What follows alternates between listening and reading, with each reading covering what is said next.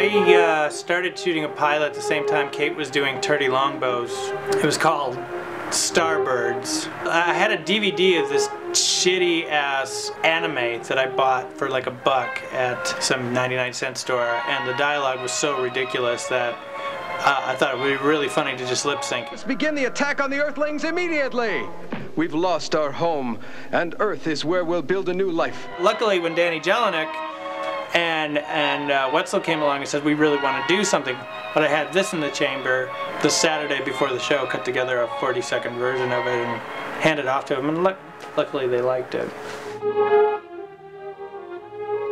I'm tired. I'm really old. That's why I didn't finish my show. I saw Paul Reiser in Funny People. The guy's really, I couldn't recognize him. He's so fucking old. I started crying. I had to stop the, the screener and cry because I'm like, I'm old. I'm an old man. I'm 40 years old.